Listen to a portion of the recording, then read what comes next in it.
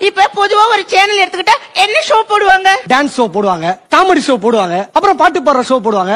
ஆனா இது மொத்தத்தையும் ஒரே ஷோல போடுறோம் எந்த ஷோல இதோ இந்த ஷோ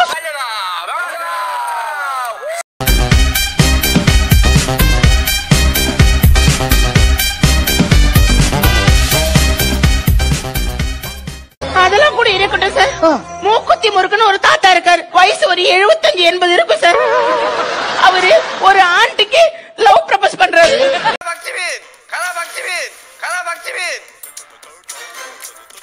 இதுவும் ஈக்குவல் கொடுத்து பேசுது.